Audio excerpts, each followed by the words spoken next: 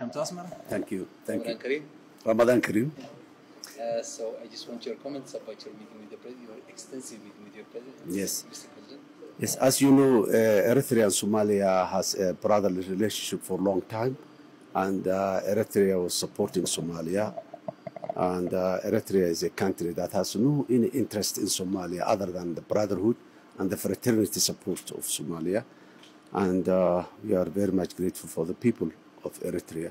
So this is one of the.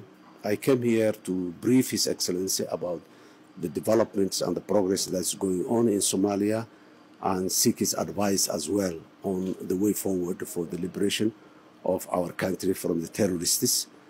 Uh, and uh, as you know, Eritrea has an ample experience in nation building and uh, in state building and uh, in security sector building. So we've been, the, His Excellency and the Eritrean government has been sharing with us those uh, ample experiences that they have.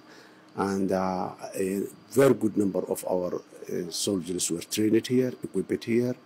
Eritrea did uh, something that most of the other countries in the world is not doing. Uh, very few countries did what Eritrea did in Somalia, and we are very much grateful for that.